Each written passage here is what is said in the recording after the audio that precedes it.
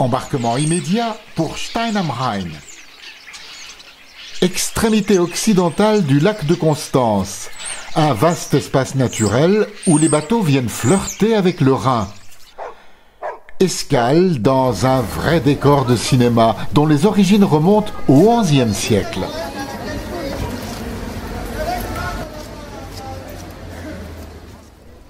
Mais si on se promène volontiers dans ces ruelles de contes de fées, faut le faire le nez en l'air.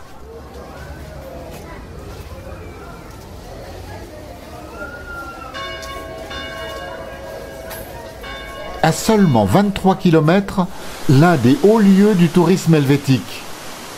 Les tumultueuses chutes du Rhin, classées parmi les plus grandes d'Europe et les plus grandes en volume d'eau déplacée.